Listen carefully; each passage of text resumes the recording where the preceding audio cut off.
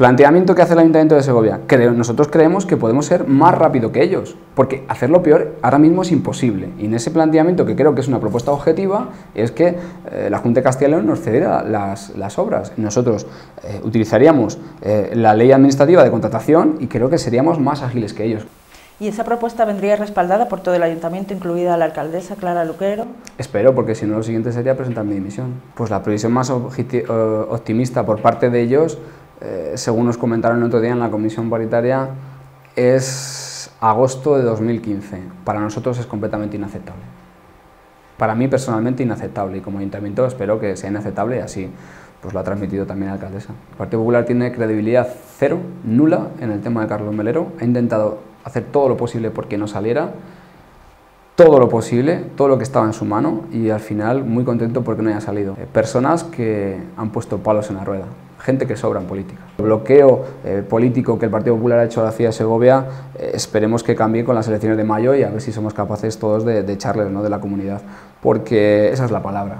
Es decir, cuando bloquean a los segovianos, la palabra es echarles. La única asignatura pendiente que tiene, independientemente de los compromisos que nosotros tenemos con los, con los segovianos, la asignatura pendiente es que desde las instituciones que están por arriba, tanto la Junta de Castilla como el Consejo Superior de Deportes, de una vez por todo, quiten el clientelismo político y aporten.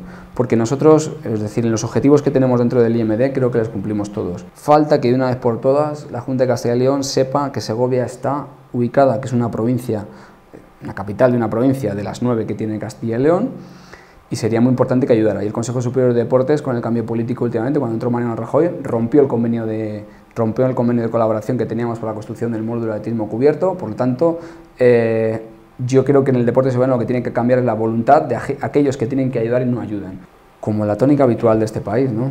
Compleja y complicada, pero a la par eh, ilusionante. Ilusionante porque les ocurre de todo, pero salen de todas.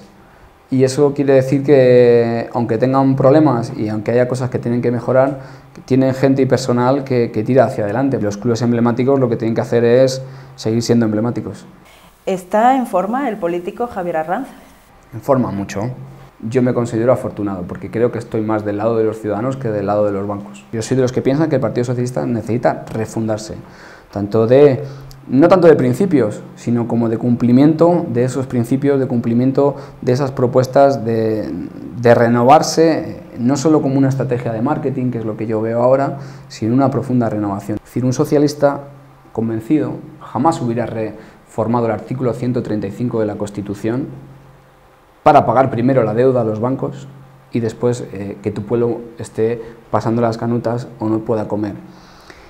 Zapatero no era un socialista, no tenía que haber reformado el artículo 135 de la Constitución, será lo que sea, pero un socialista jamás, jamás hubiera reformado el artículo 135 de la Constitución. Yo tengo mis dudas de que los actuales dirigentes sean capaces de transformar la sociedad dentro de una ideología como es la del Partido Socialista y que hacer que los ciudadanos vivan mejor. Unas primarias verdaderas, sí, unas primarias donde gente no se ha podido presentar, yo no me he podido presentar a la Secretaría General del Partido Socialista de Castilla y León.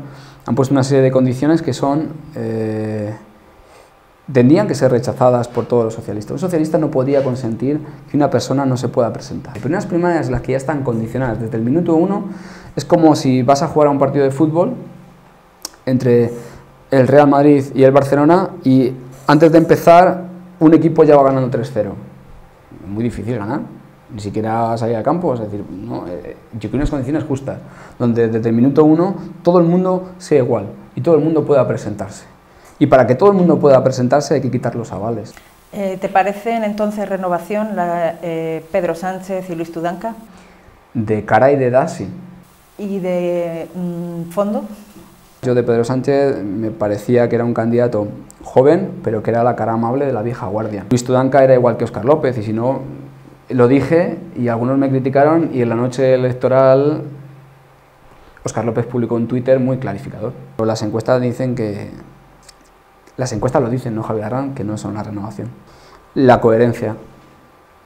Si, si fuéramos más coherentes seríamos más creíbles. El Partido Socialista hay gente de centro, incluso liberales como Juan Luis Gordo, gente que acepta el sistema neoliberal y que acepta que las empresas eh, controlen el país, y luego hay gente más de izquierdas que pretendemos que la sociedad pues, eh, eh, vaya por otro camino y que no nos engañen las empresas y que los servicios públicos sean de, mejor calidad y, todos convivimos. He llegado a la conclusión de que soy socialista y tampoco voy a pedir perdón por ello. ¿no? Están desde los más liberales, los casi que están en la derecha, como Juan Luis Gordo, y luego está la gente que está más a la izquierda, ¿no?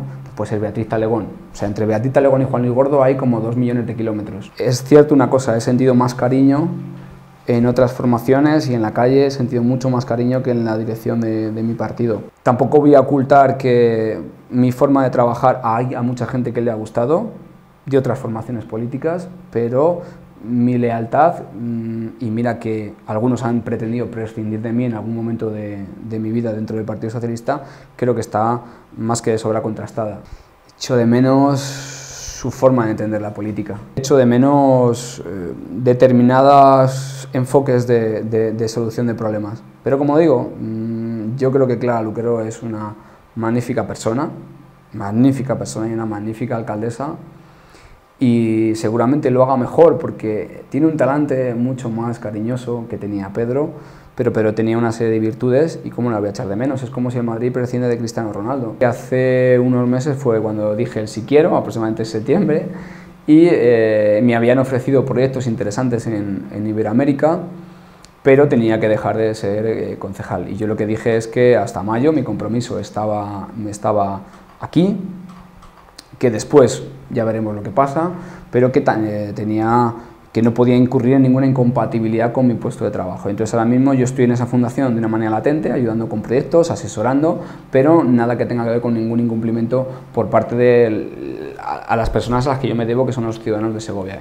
Pues muy contento, porque una persona como yo que que no se le pone nada por delante. Me hubiera encantado ser músico y me hubiera encantado ser cantante. Y un día dije, ¿por qué no? Y de ese por qué no surgió un proceso largo y muy complicado de aprendizaje y que todavía sigo.